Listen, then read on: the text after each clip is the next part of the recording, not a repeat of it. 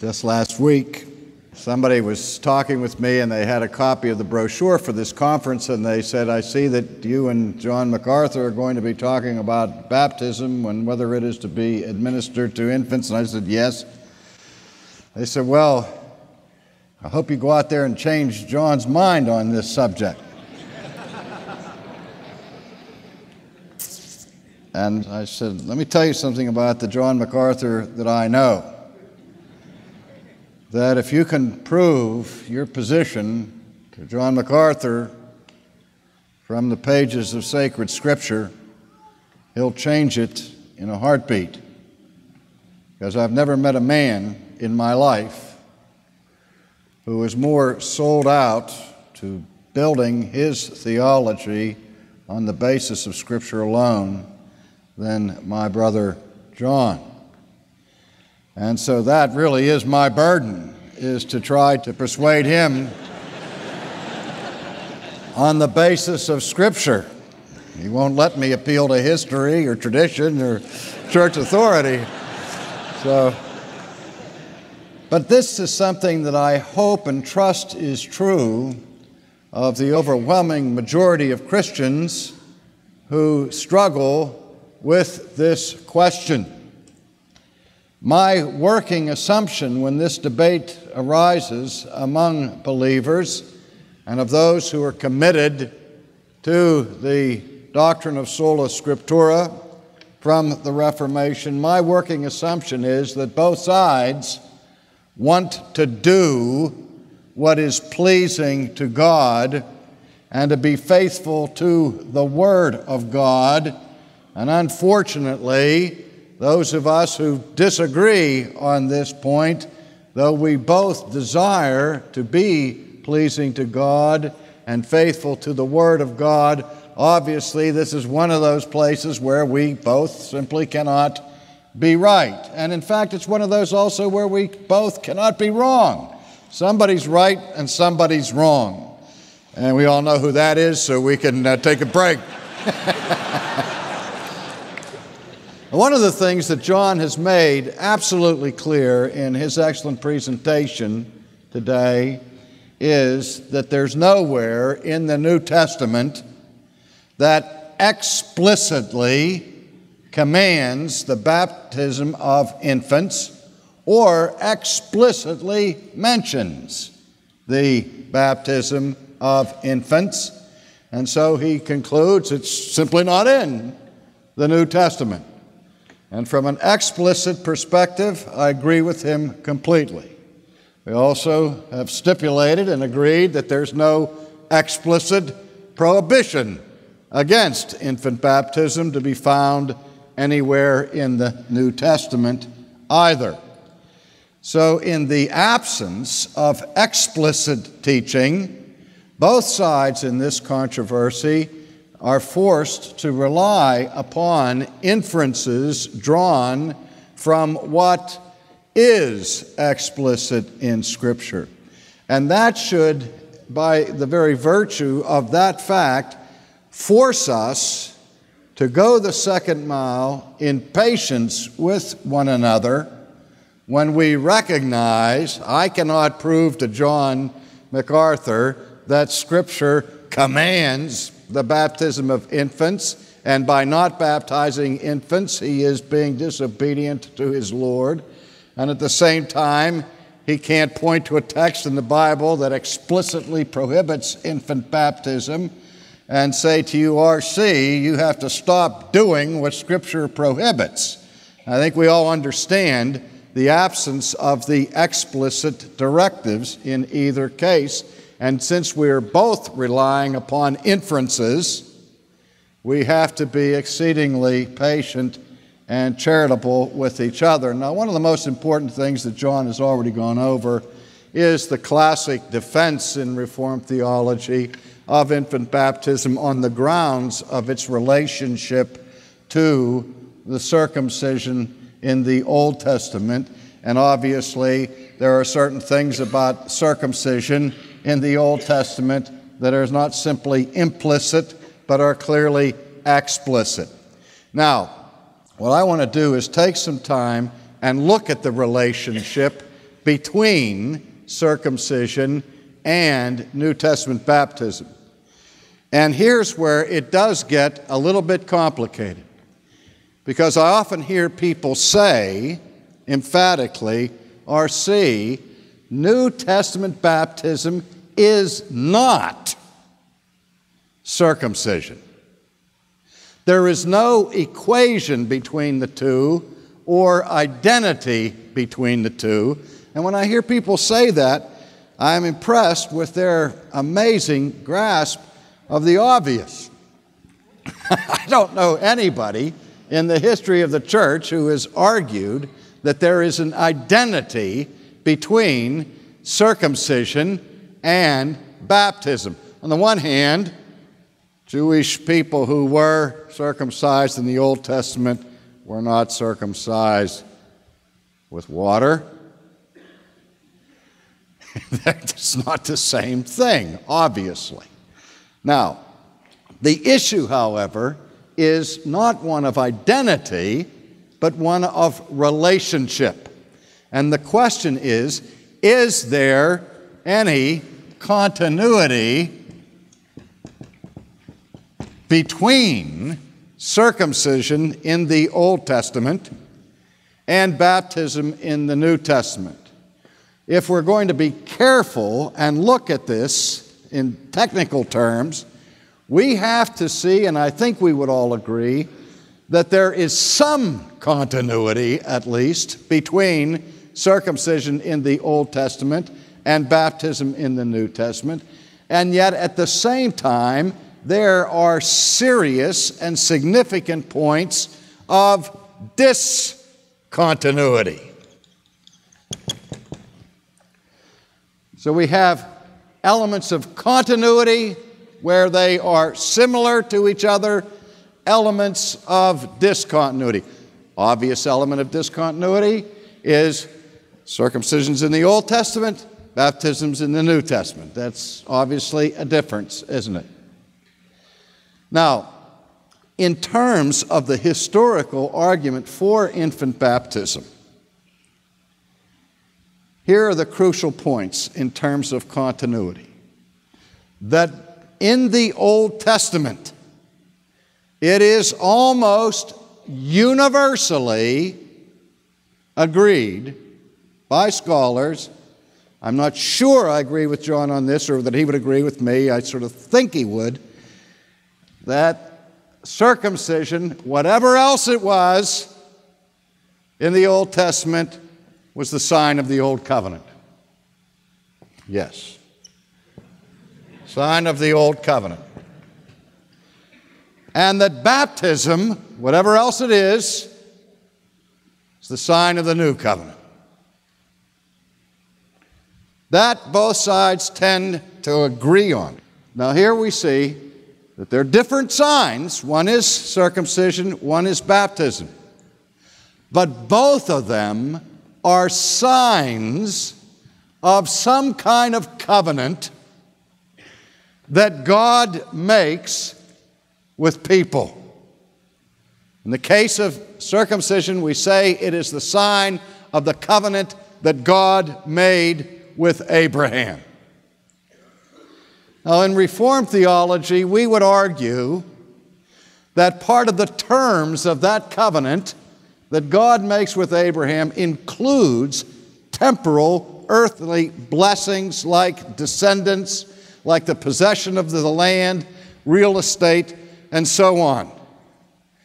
But that beyond those external matters of physical inheritance, ethnic and national, is communicated the Old Testament promise of redemption. Unless you want to argue that people were saved in the Old Testament in a manner radically different from how they are saved in the New Testament. I'm going to say something I've never said before publicly, though I believe it, but basically out of response to John's passion and his years of faithful defense of the purity of the gospel.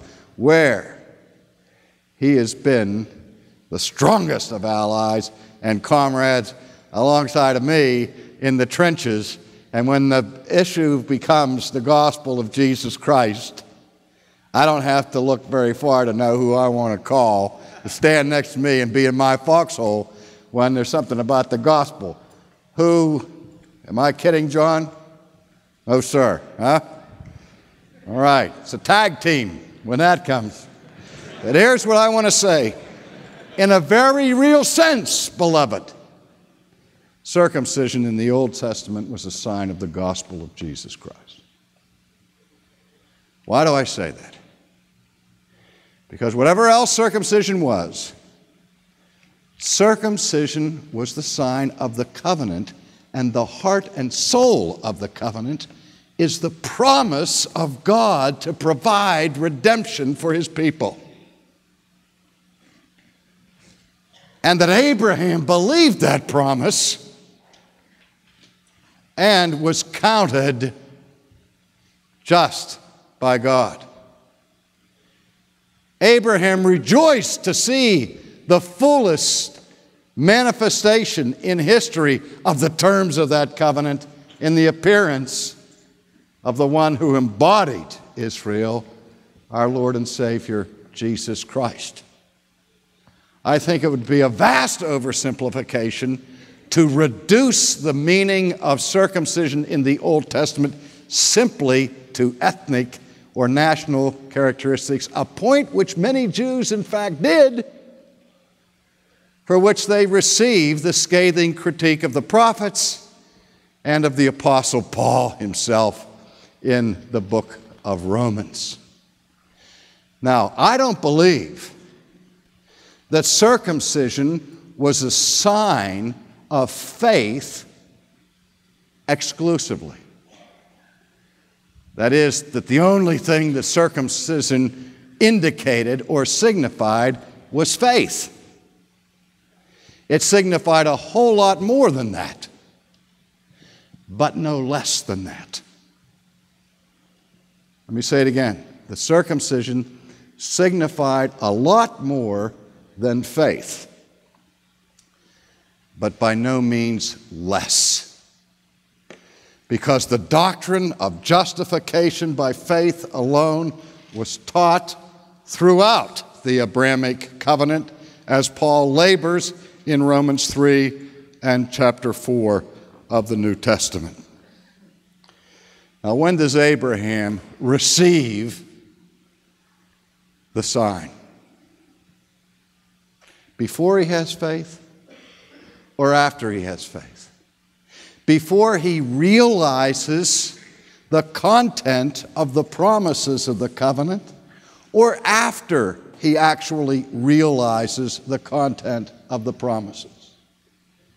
Manifestly, he receives the sign of the promise after he's received the substance of the promise, after he's believed, after he's repented, right? Then he is given the sign of circumcision.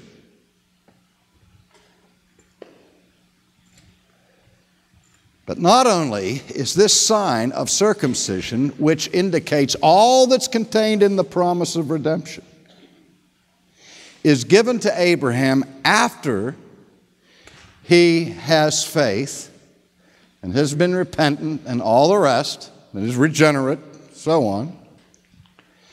God not only permits, but explicitly commands that the infant son of Abraham receive the sign of this same covenant.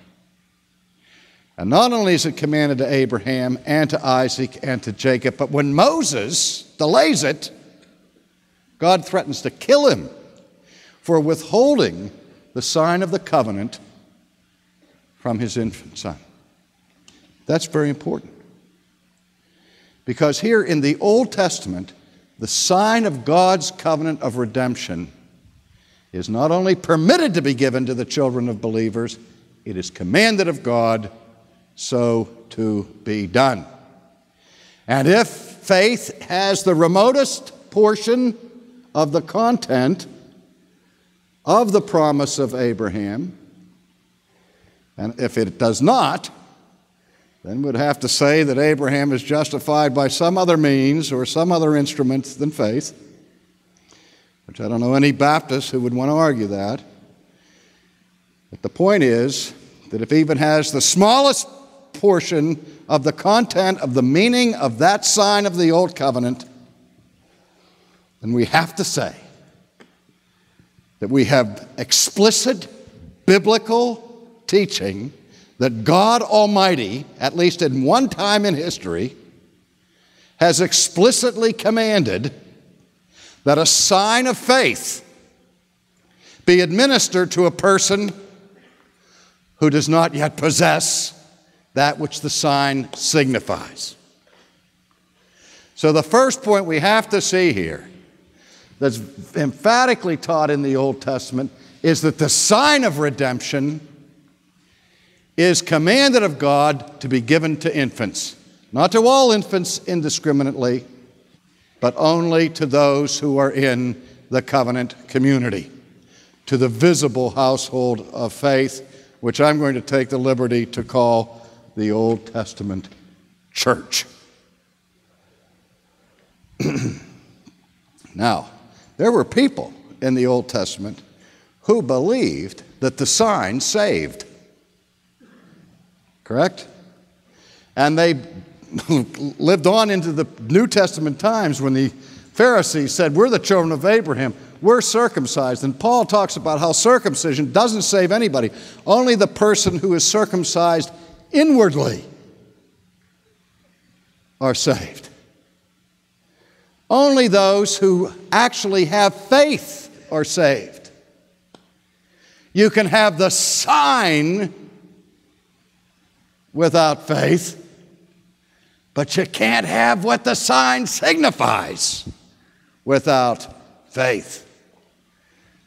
So, again, we don't want to ever get to the conclusion that a person is justified by circumcision in the Old Testament or by baptism in the New Testament. There's one thing that my, my buddy John said that I have to speak out on in terms of my emphatic disagreement with it. Because on this one point, I am absolutely 1,000% sure he couldn't possibly be more wrong. I know he's wrong. I'm positive he's wrong. And I'm going to prove to you right now, beyond not a reasonable doubt, but a shadow of a doubt, that he's wrong. My dear brother stood up here in front of all these people and said that we had lunch, and it was really brunch.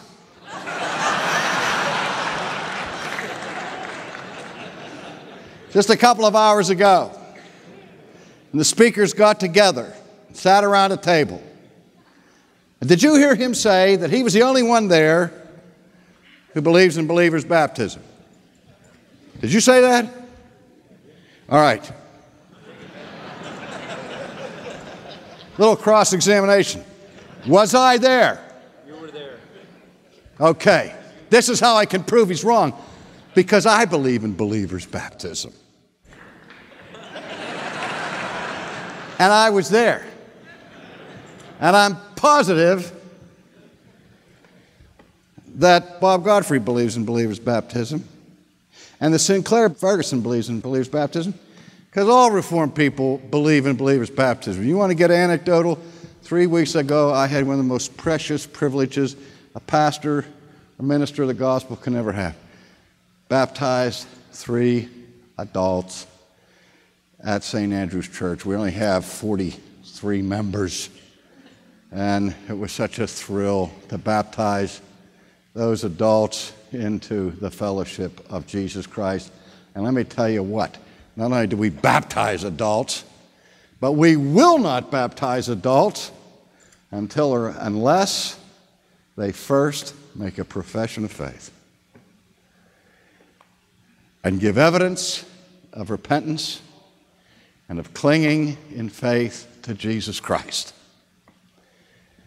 Now, there's abundant evidence in both Testaments for the adult reception of the sign of the covenant. In the Old Testament, as John has pointed out, we have the records of those who were strangers and foreigners to the covenant from the Gentile world who come over and embrace Judaism and receive circumcision as adults.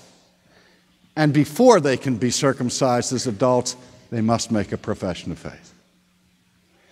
And likewise, we have abundant records in the New Testament of adults being baptized, which adults are called upon to profess faith, and so on. We have actual 12 references in the New Testament to actual baptisms. They're all adults.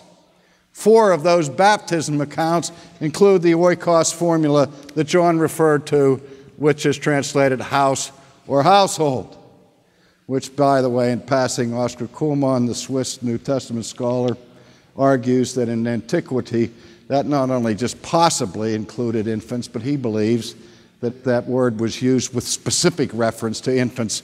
But that's too much of a stretch for me. What it does indicate is some kind of continuity of the principle of corporate solidarity that we find clearly evident in the Old Testament. But I wouldn't care if the term oikos or the term household occurs or not in the New Testament, because I think every single reference to adult baptism in the book of Acts is 100% utterly, completely, and totally irrelevant to the question we're discussing here. As we've stipulated, we all believe in adult baptism. And we all believe that in the case of adult baptism, there is a prior requirement of a profession of faith. No argument about that whatsoever. So there's no sense taking any time arguing over what we agree on. Only one thing, the only evidence that that adult baptism has for this controversy in the New Testament is one that's somewhat secondary not utterly insignificant, but it has some significance, and that is that all of those who are baptized as adults are presumably first generation believers. If the opponent of infant baptism could point to one case of an adult baptism in the New Testament where the person who's being baptized as an adult was the child of Christian parents when that person was an infant then they would have a relevant case to point to. In fact, that would be all it would take to change me on that. But you don't have any such evidence whatsoever. And all of the pointing to the evidence of adult believers is only obfuscating the issue because there's no debate about what are the requirements for believers' baptism. We all agree with that. The question is simply should the child of a believer receive the sign of the covenant in the New Testament as it clearly and incontestably did in the Old Testament. Now, again, we recognize that there is a difference between the New Testament and the Old Testament. John pointed out one. In the Old Covenant economy, the only people who received the sign of the covenant were males, boys, little boys. The women didn't. And presumably in the New Testament, the sign of the covenant is administered not only to the males, but to the females as well. Now, what does that tell you? One thing it tells you is that as the New Testament labors over and over and over again, the New Testament's a better covenant than the Old Testament. And one of the ways in which it's better, or at least different, is that it is obviously more inclusive rather than less inclusive than the Old Covenant. Now, in the Old Covenant, you didn't have to be a child of an Israelite parent to be saved. But one of the great mysteries in the history of redemption is the role that the Gentiles play and that there is a radical expansion of outreach and evangelism to the Gentile world in the new covenant that is absent in the old covenant. It's a radical expansion. It's not like there's no outreach to the Gentiles in the Old Testament. There was some, but not nearly the degree to which you find it in the new covenant. Now, it just seems strange to me that if, in general terms, the new covenant is more inclusive than the Old Covenant, why would a practice of including the children of believers in the reception of the sign of the covenant of redemption that is in practice for 2,000 years would suddenly be repealed and abrogated in the New Testament without a single word. I really think the burden of proof here is on those who say that at the point of including children of believers in the reception of the covenant sign of the promise of God for redemption, that the burden for that should be on those who want to argue that there is this radical change in the history of redemption. That a practice that is normal and normative for 2,000 years suddenly stops without a word in the New Testament. Not only without a word in the New Testament, but as Joachim Jeremias has pointed out, that we can't find anything in the literature of the first century apart from the Bible or until long into the second century and not much at all until the middle of the third century about the practice of infant baptism. And the first reference we have to it that has survived in antiquity, in literature outside of the Bible, describes infant baptism as the universal practice of the church. Now, it's possible in 100 or 200 years that the whole Christian church could have departed from the apostolic practice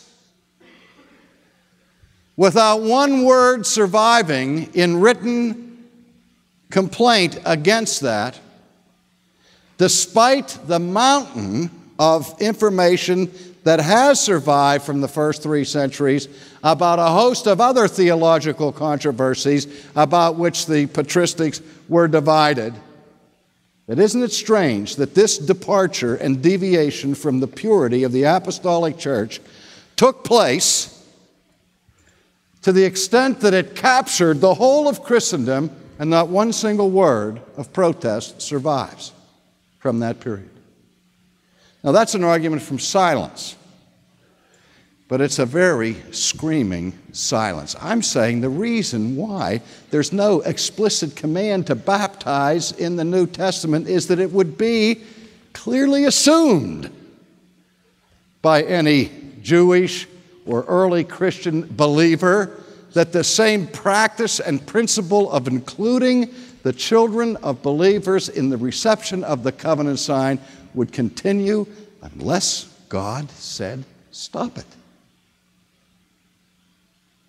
Now, I'm trying to do this real quick because I don't have much time, but I want to real quickly point to a text that John pointed to that I thought was a very important text. I don't need to read it, he did.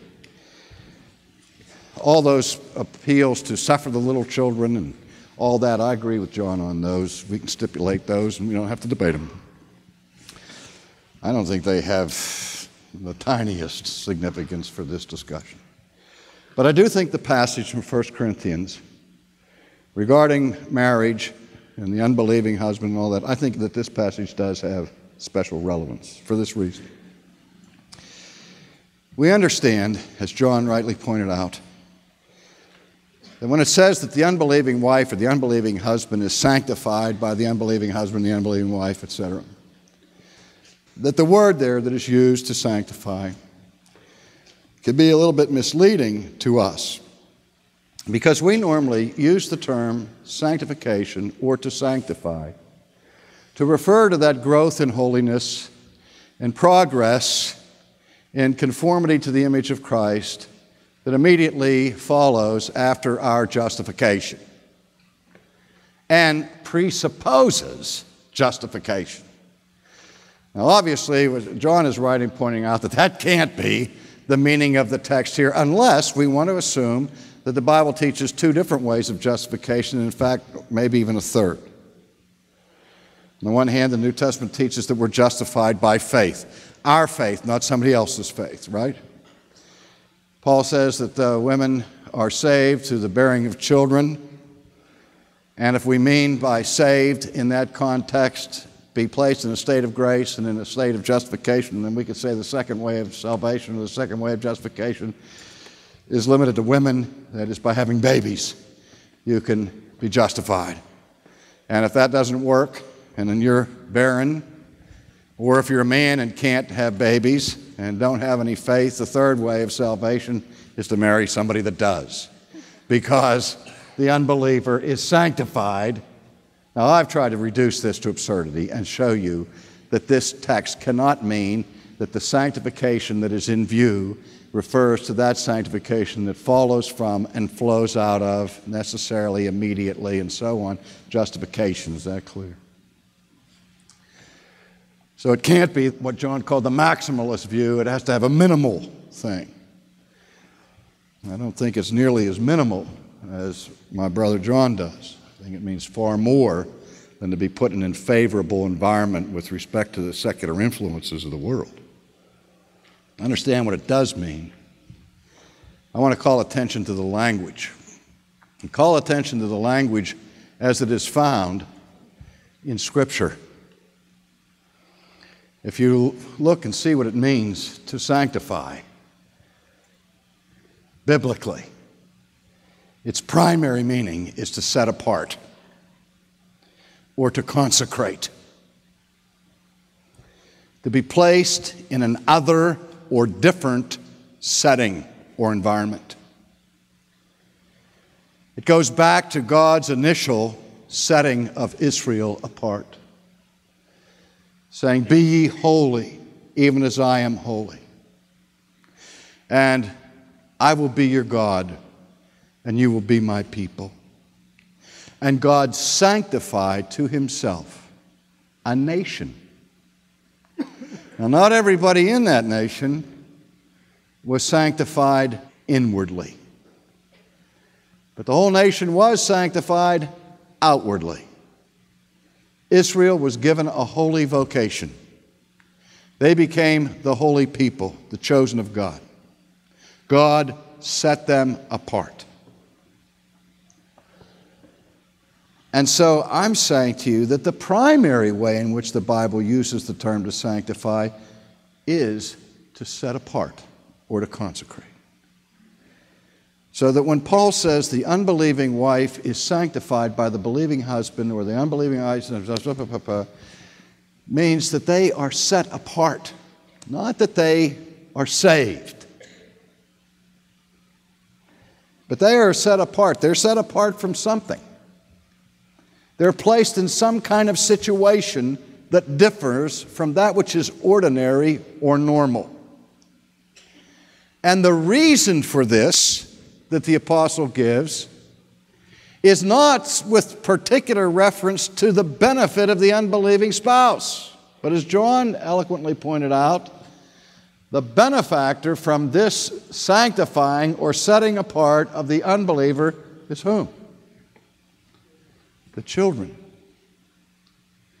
Now, listen to this language. God said, I'm going to set apart the unbelieving wife or the unbelieving husband for the benefit of the children that issue from this marriage. Because he says, else would their children be unclean. But now are they holy.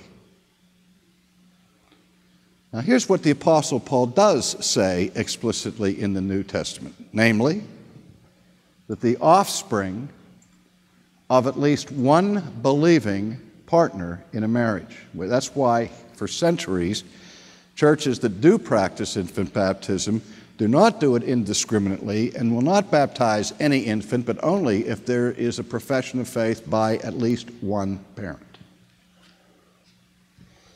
But listen to the language. Doing this, Paul says, for the sake of the children, else would they be unclean. Do you ever hear that word in the Bible, unclean? What is the primary reference of the concept of being unclean to a Jew? To be outside the covenant to be numbered with the unbelievers, to be numbered with the Gentiles in Israel, to be a foreigner and a stranger to the covenant promises of God. That's what it meant to be unclean, to be outside the camp, outside the community where the grace of God is focused.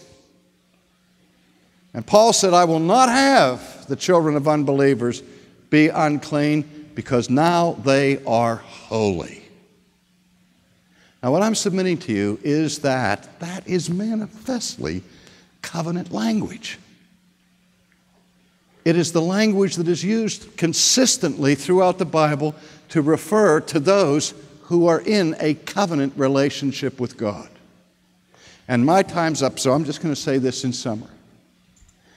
In the Old Testament, circumcision does not convey redemption, it's the sign of redemption. In the New Testament, baptism doesn't convey redemption, and it's a sign of many things. It is a sign of our cleansing. It is a sign of our regeneration. It is a sign of our sanctification.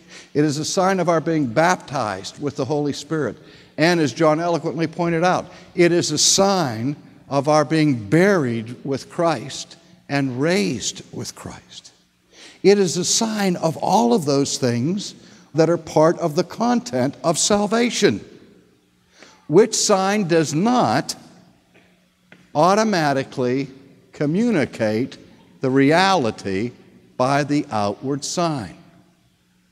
What it does communicate is the reality of the promise of God to all who put their trust in Him, that they would receive the fullness of redemption that is promised in the gospel. In a word, the sacrament of baptism is a dramatic object lesson, a visible sign of the spoken promise. We proclaim the Word of God in the presence of infants. They maybe don't understand the Word. And they don't understand the sign either until it's explained to them. That's why the responsibility is for the parents and for the church to say to this child, you received the sign of the promise of God. You received the sign of the gospel of Jesus Christ. And let me tell you what that sign means. And you tell them what the sign means, and you tell them if you trust in this promise of Christ, you will be saved. And as Calvin pointed out, that which a sign signifies in the Bible may be given before or after the sign is present. Exhibit A the sign that was given to Abraham after he had faith, to Isaac before he has faith. And if you want to raise a principial objection about giving a sign that includes, among other things, a sign of faith to people who are incapable of exercising faith at that time, if you want to raise that objection in principle, don't hesitate to object against God Himself because that's exactly what He did in the Old Testament. I agree with Calvin that the preferred method of baptism is immersion. I disagree with Baptists who insist that the Greek word baptizo can only mean immerse because it is clearly used in the Septuagint to translate a text in Leviticus 14 where two birds are used in a sacrificial way, and these two birds are killed. The one has its blood drained out of it, and the other one has to be baptizoed in the blood of the first one, there just ain't enough blood in the first one to immerse the second one. You dip it in there. But anyway, that's a secondary issue and not a primary issue. There are many, many more things to be said about this. What I hope our discussion has done today is to get you to understand, if nothing else, that this is important to God. And we ought to try to dig at it, get down to it, and try to work it through. And where we have reasoned improperly or failed to understand a nuance of the scripture, we need to be willing to change on that. I used to do this when I taught the sacraments at seminary level. I would have students that were both from the Reformed tradition and from the Baptist tradition. And I would do this I would make the students from the Reformed tradition write a term paper on the case against infant baptism. And I would make the Baptist guys write a paper on the case for infant baptism. And I wouldn't grade them on what they personally believed. I would grade them on how accurate they were in their articulation of the different positions. Because most of us, unfortunately, just follow our traditions, as John said. Just blindly accept the Christian subcultural's view in which we have grown up and just carry it on. When this is something we should search the scriptures to understand what God wants us to do and then do it. Let's pray. Father, we thank you for your words. We thank you for the outward signs that you give that demonstrate the truthfulness of your word. And we pray that we may be faithful both to your word and to those signs that you've given to your church. For we ask it in Jesus' name.